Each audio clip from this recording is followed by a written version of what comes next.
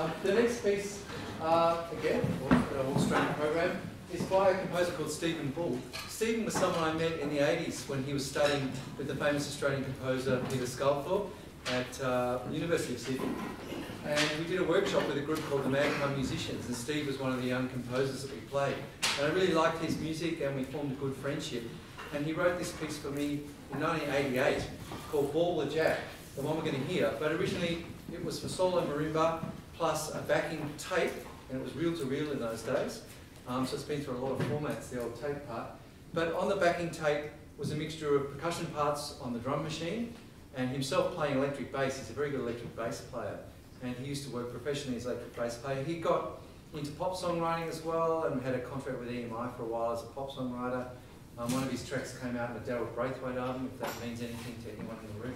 Um, and now I think he works with disadvantaged youth in music programs. We've sort of of touch. Um, Melbourne percussionist Steve Hardie did an arrangement of this for live percussion ensemble where he transcribed all the stuff off the backing track for the live players. And today's featured soloist is Therese Kuhn on the marimba with the backing band. Um, yeah, I think it's about all I to say.